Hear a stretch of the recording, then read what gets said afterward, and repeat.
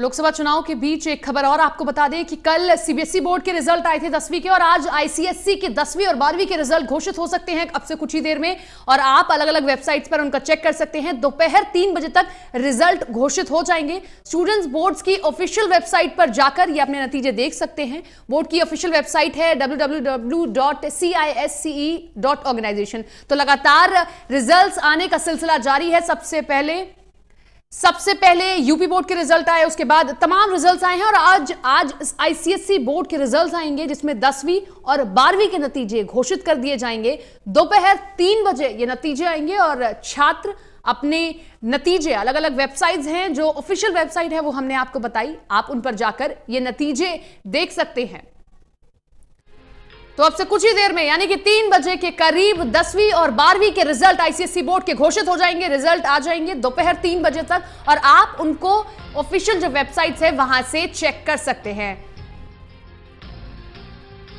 कई बच्चों ने जो है परीक्षाएँ दी हैं और उनका रिज़ल्ट अब आना है, दसवीं और बारहवीं का रिज़ल्ट आज दोपहर तीन बजे तक घोषित हो जाएगा आईसीएससी बोर्ड के और आप उनको जो ऑफिशियल वेबसाइट है आईसीएससी बोर्ड की, वहाँ पर जाकर देख सकते हैं। हम अपनी टीवी स्क्रीन पर ये वेबसाइट फ्लैश कर रहे हैं और दोपहर तीन बजे जब रिज़ल्ट आएगा तो आप इस वेबसाइट पर जाकर अपना रिज़ल्ट देख सकते हैं।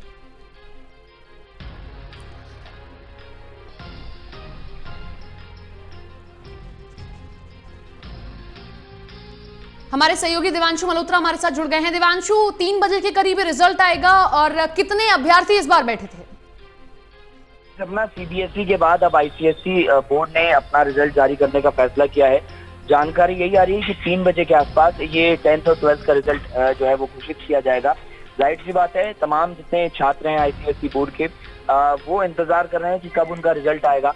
हालाँकि इस बार देखने को ये मिल रहा है कि जो तमाम जितने बोर्ड के रिज़ल्ट हैं वो जल्दी जल्दी आ रहे हैं। क्योंकि सीबीएसई में भी ऐसा देखा गया कि टेंथ और ट्वेल्थ का रिज़ल्ट जो बीस और बाईस मई के आसपास आता था वो पाँच और सात मई के आसपास ही जो है घोषित हो गया है।